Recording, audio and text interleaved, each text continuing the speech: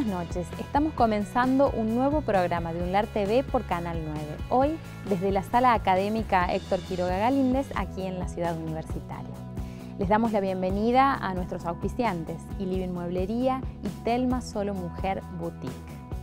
Les cuento que los contenidos que van a ver hoy en este programa pueden volver a verlos en nuestro canal de YouTube y pueden seguirnos en las redes sociales, Facebook, Twitter, Google+, Instagram. Somos UNLAR TV. Ahora veamos los títulos de hoy. Te contamos sobre las nuevas salas simuladoras del Hospital de Clínicas y la aplicación turística que desarrollarán los graduados de la UNLAR. En la columna estudiantil de esta semana hablamos de jóvenes y redes sociales. Nos visitan integrantes de la Red Científica de Jóvenes Investigadores para charlar sobre los primeros pasos en la investigación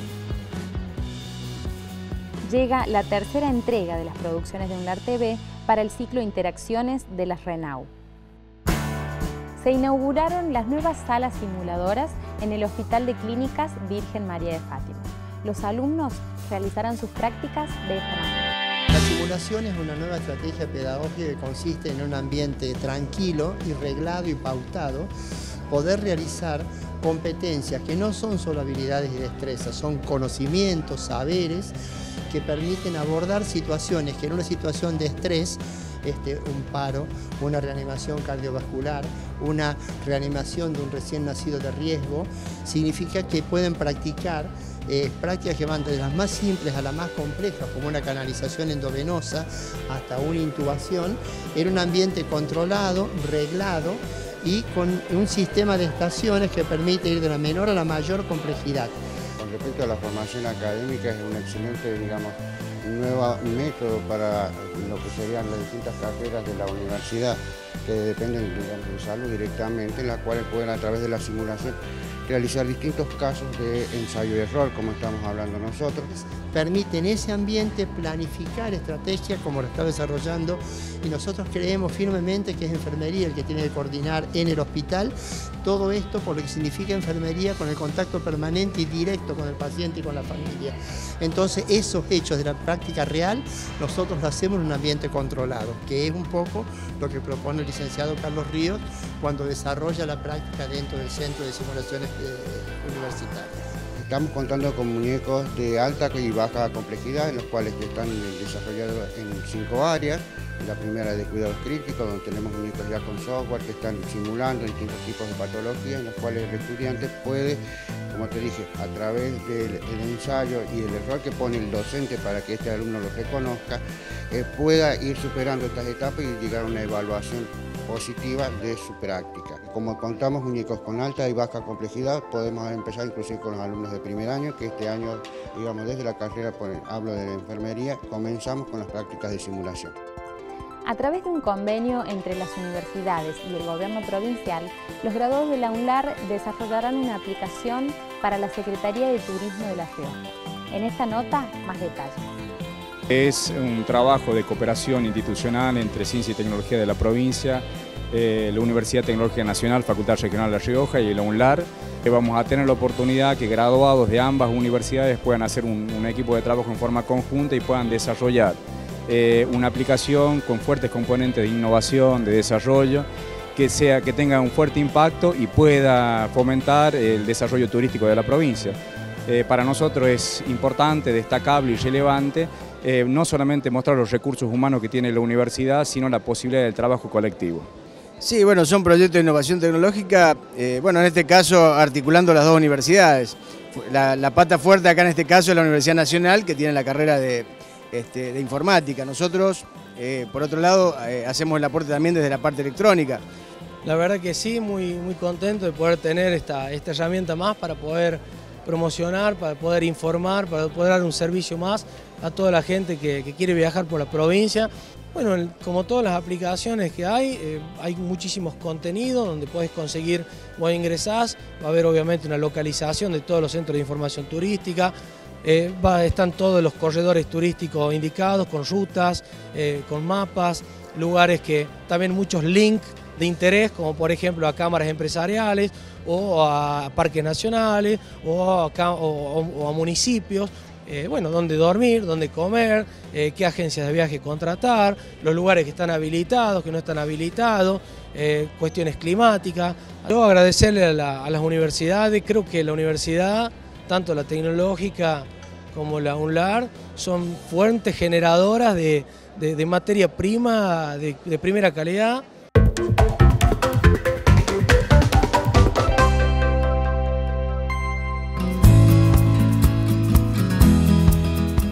Ha llegado el momento de la columna esta semana a cargo de los estudiantes de la licenciatura en Comunicación Social de la UNLAR, Victoria Castro y Gabriel Rodríguez Cativas. Hola Gaby, ¿cómo estás? ¿Cómo va Patricia? Muy bien, contento eh, y con un nuevo tema que venimos a hablar eh, en esta ocasión.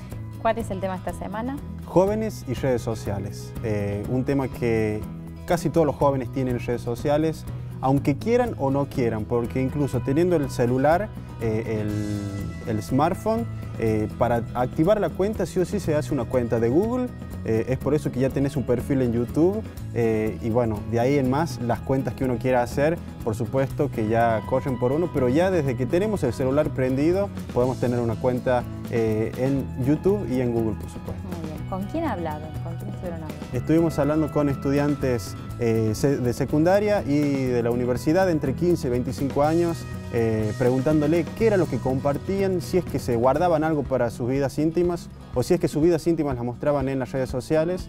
Y para sorpresa nuestra nos dimos cuenta de que en principio eh, la mayoría de las cosas el joven eh, las publica en las redes sociales, las cosas íntimas y tampoco las no tan íntimas siempre las muestra, está compartiendo, está en constante uso de las redes sociales algo en un principio llamativo, pero que eh, es la actualidad y es lo que está pasando ahora.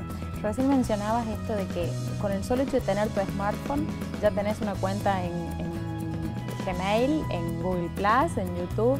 Digo, ¿cuántas redes sociales se, se, utilizan promedio por persona? Estuvimos haciendo el relevamiento de 10 jóvenes, 7 tienen al menos 4 perfiles. Y de esas 7 personas, eh, de esos cuatro perfiles, dos están activos. Eh, así es que siempre están constantemente con muchas redes sociales activas, no es tan solo una, no es tan solo Facebook ni WhatsApp, sino que es Facebook, WhatsApp, eh, Instagram, el mismo Google, YouTube. Y bueno, y de ahí para, hay un montón de redes sociales por supuesto, pero las que más se utilizan es Facebook, es WhatsApp y finalmente que fue un poco llamativo, pero Instagram no lo están utilizando tanto, por lo menos los jóvenes que le estuvimos haciendo las preguntas, así es que es algo un poco llamativo que eh, está de moda, si se quiere, eh, en la mayoría de los jóvenes, a los jóvenes que le hicimos las preguntas no, tanto. ¿Y Twitter usaban? Twitter poco. Twitter lo utilizan como un perfil, si se quiere, casi inactivo, en donde se puede seguir a los famosos, pero hasta ahí nomás. No publican su vida íntima como si lo hacen eh, en Facebook o en mismo WhatsApp, eh, pero lo cierto es que eh, lo que es el Twitter y, tampoco, y también el Snapchat no lo están utilizando tanto los jóvenes, por lo menos en La Rioja. Bueno, y con respecto al tema de la seguridad, digamos, ¿qué les dijeron? ¿Cuidan ese tema? Digo, ¿aceptan solicitudes de cualquiera? ¿Tienen amigos reales vía Facebook? Generalmente eh, a los jóvenes que le estuvimos haciendo las preguntas tienen más amigos que conocen personalmente que amigos virtuales. Son los menos quienes tienen eh, los amigos virtuales, aquellos que no conocen. Así es que en un principio eh, el tema de la seguridad también es un poco bastante abarcativo porque hay jóvenes de la secundaria que tienen un perfil en Facebook cuando son menores de edad y para hacer un perfil de Facebook se tiene que necesariamente ser mayor de 18 años. Así es que desde un principio están un poco complicados con el tema de la legalidad, pero eh, lo tienen al Facebook eh, abierto y además activo. Digo, pero hay una madurez a la hora de usar las redes sociales, por lo menos en los jóvenes. Sí, sí, sí, se, notó una madurez. Eh, también eso va de acuerdo a la edad que tienen a los jóvenes universitarios, le preguntamos, y tienen muchísima más conciencia sobre a quiénes agregar y a quiénes no. Eh, y por eso eh, justamente es que tienen más amigos que conocen personalmente que amigos virtuales. muchas gracias Gaby. Eh, nos vemos la semana que viene y nosotros nos vamos a una pausa y volvemos para hablar con integrantes de la red de jóvenes investigadores de la UNAM.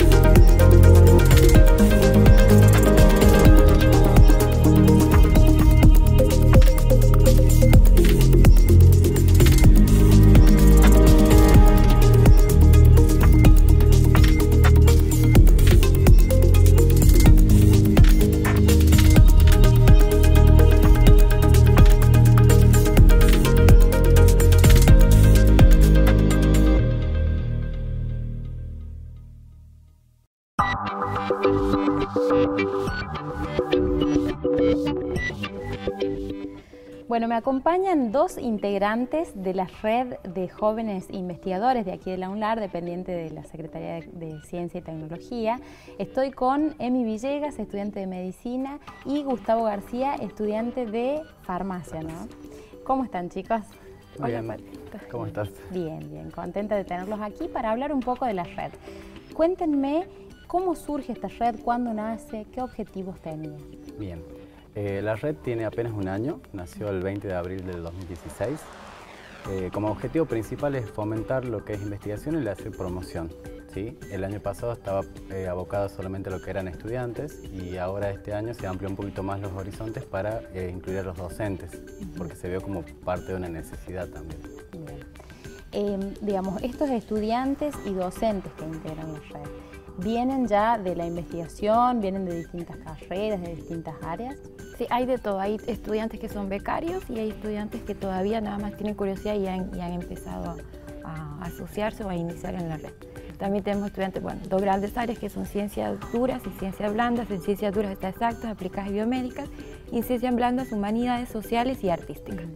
¿Cuántas personas integran actualmente la red? Básicamente los coordinadores somos tres, que estamos nosotros dos y Ariana. Y después tenemos, ¿cuántos miembros tenemos en, en, ciencias, duras hay 35, incluidos los becarios, pero esos son del año pasado, que se sumarían los becarios de investigación de este año. Y en ciencias blandas hay 15, porque siempre hay un menos cantidad por ese lado, menos tienen curiosidad por el otro que por ciencias duras. Bueno, y hablando de esto un poco, ¿no? de la curiosidad, ¿cómo ven ustedes hoy el interés por investigar en los jóvenes? Y por lo general eh, hay de todo. Eh, tenemos chicos que están, eh, son curiosos y quieren, quieren ver qué onda, como dicen. Eh, y hay otros chicos que le tienen un poquito de miedo porque dicen que les va a consumir muchos horarios por el tema de la carrera, el estudio, entonces no quieren meterse directamente. Por eso la idea de la red es hacer que ellos se interesen, ver qué es lo primero que van a ir haciendo para lo que es investigación, cómo lo van a hacer y bueno, de a poco ir formándose. Claro, porque digamos, da la, sensación como que quizás puede haber gente interesada en, investigar, pero también pensar en, la dedicación, digamos, y en la seriedad y en el rigor científico que debe tener este tipo de trabajos, es como, como se amedrentan capaz, pero digo, no están solos, ¿no? Hay un acompañamiento de parte de la red. Sí, hay un acompañamiento y también no solo para, que quería agregar lo que decía mi compañero, no solo para los estudiantes, sino también para los docentes, porque hemos visto que tenemos, no decir un déficit, sino un, un bajo número de docentes, investigadores o también interesados en, iniciar, en iniciarse en investigación y por ese lado, bueno, es que eh, tenemos, la red, tenemos docentes no solo de acá, de Córdoba, tenemos también convenios con otras instituciones que también se plantean para hacerse, para darle a, tanto a los estudiantes como a los docentes herramientas para que puedan continuar y, puedan iniciar su protocolo de investigación y puedan iniciar a hacer investigación, aprender y sentirse también acompañados. Bueno, recién eh, hablábamos fuera de cámara un poco de eh, las diferencias y de la complementariedad que existe entre la extensión y la investigación. ¿Cómo, cómo sería esto? A ver, Emi, capaz, me puedes dar una... Bueno, eh, la parte de extensión y la parte de investigación parece que son cosas que son muy distintas, pero va, de hecho son distintas, pero van muy de la mano. La extensión no puede existir si no hay actividad científica y la actividad científica no tiene ningún sentido hacerse si no se lleva a la comunidad. Eso quiere decir que la actividad científica lo que se hace es trabajar, con trabajar dentro de un laboratorio, ya sea o con una población, identificar un problema y la actividad de extensión, los extensionistas llevan ese problema, plantean una posible solución para llevarlo a toda una sociedad y una comunidad. Por eso es que una no podría existir sin la otra y la una no tendría sentido si, no, si hiciera la otra. Otra de las cosas que marcábamos es esto que en el imaginario colectivo existe la idea de que vas a estar adentro de un laboratorio o en una sala como muy cerrada, digamos. Eh, es, más amplia la investigación, ¿no? Es más, que eso es, una partecita, ¿no? Sí, es muy, es muy acotado esa idea. Porque, por ejemplo, a mí me tocó en, el trabajo que estoy eh, con el doctor Vicentín eh, hacer lo que es laboratorio y hacer también lo que es trabajo de campo.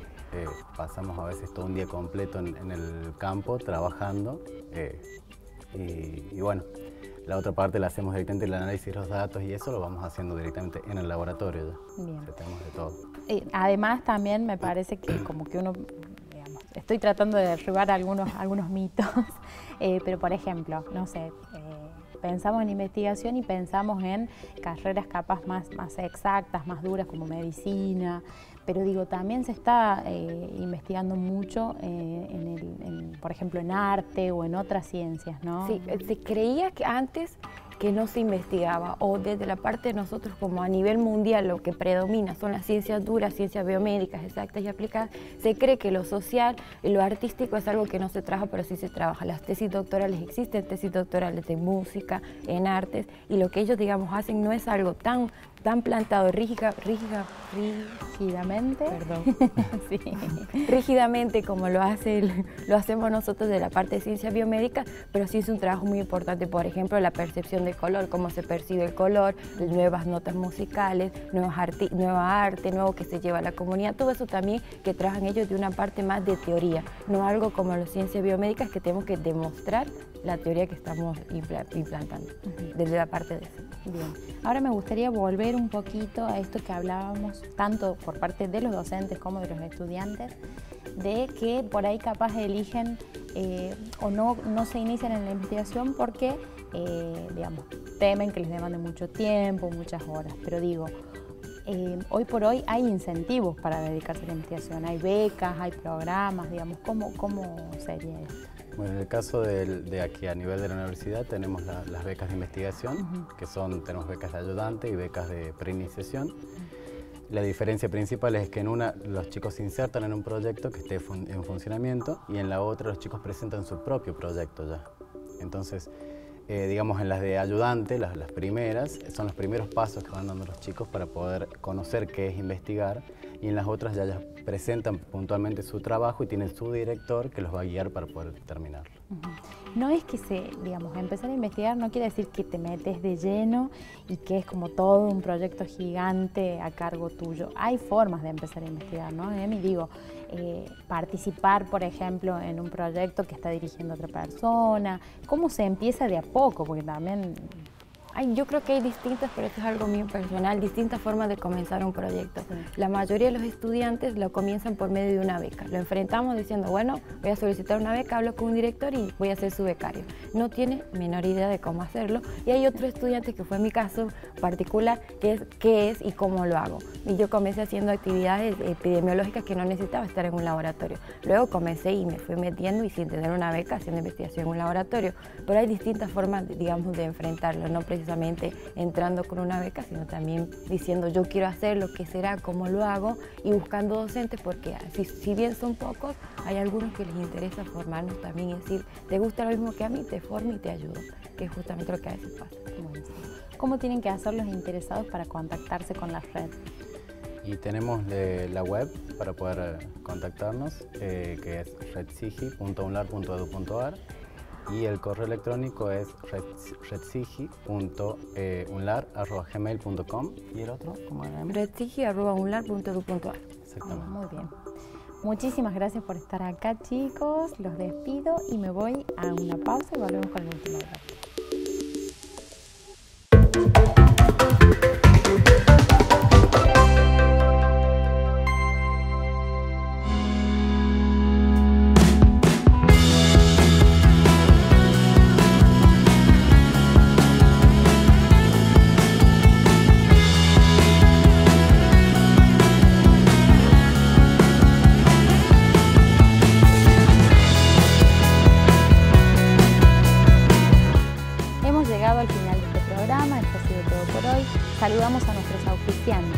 Auspiciantes, Living Mueblería y Telma Solo Mujer Boutique.